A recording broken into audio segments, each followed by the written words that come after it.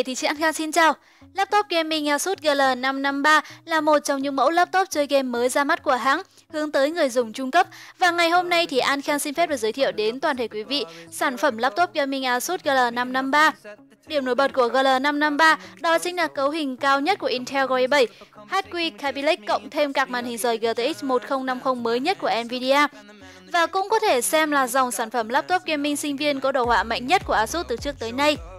Nổi bật trên nắp máy vẫn là hai đường viền cắt chéo phát sáng màu cam cùng với logo Rosary. Toàn bộ bộ ngoài được làm từ nhôm với các đường chỉ đẹp mắt, trong khi đó phía bên trong máy được bao trùm bởi gam màu đen truyền thống quen thuộc với những game thủ.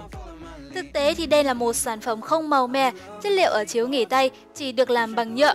Máy có kích thước là 15.6 inch vừa đủ để giải trí, tuy nhiên khối lượng vào khoảng 2,5 kg sẽ là phù hợp với những bạn nam to khỏe, Bàn phím vẫn là dạng checklist sử dụng đèn nền RGB, có thể tùy biến theo 4 khu vực sáng khác nhau và các màu sáng nhấp nháy theo ý muốn, giúp cho sản phẩm trở nên đẹp và hấp dẫn hơn.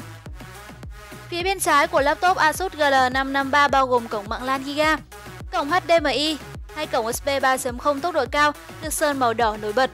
Tiếp theo là USB Type-C đa năng cùng với combo jack audio 3.5mm. Cạnh phải của chúng ta thì bao gồm một ổ đĩa quang và một cổng USB 3.0 nữa có thể nói là khá đầy đủ để đáp ứng được những nhu cầu của đa số người dùng. Mặt dưới của máy thì được bố trí các khe thoát nhiệt và những hình họa vi mạch điện tử trông rất là đẹp mắt. Bạn cũng có thể dễ dàng để mở nắp máy ra, nâng cấp thêm RAM hoặc là ổ cứng. Màn hình của GN553 vẫn là loại màn hình IPS, có độ sáng cao và góc nhìn rộng, độ phân giải lên tới Full HD cho hình ảnh rất là đẹp. Asus GL553 có cấu hình chip Kaby Lake và các màn hình rời GTX 1050 4GB chuẩn GDDR5 128 bit.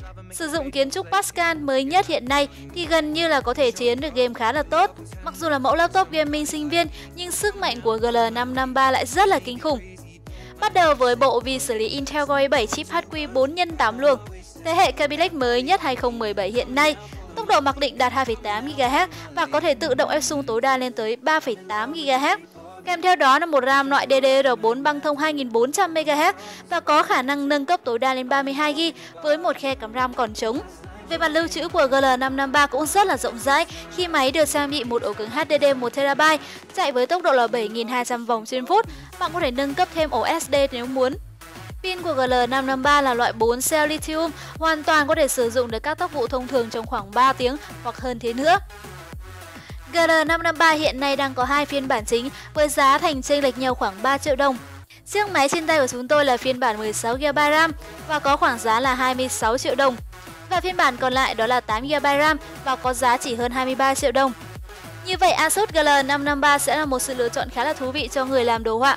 Đặc biệt là mùa nghỉ hè sắp tới, chiếc laptop đủ đáp ứng nhu cầu ăn chơi nhảy múa của các cậu ấm sinh viên.